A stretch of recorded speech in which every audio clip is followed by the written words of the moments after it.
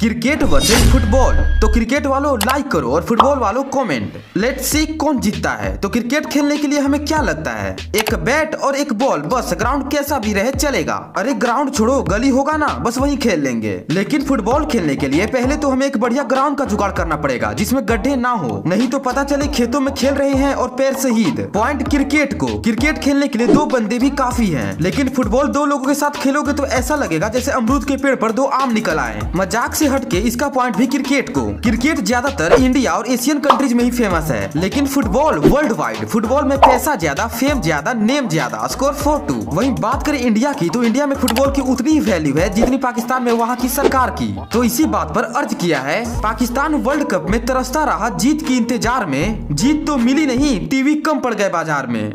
अच्छा।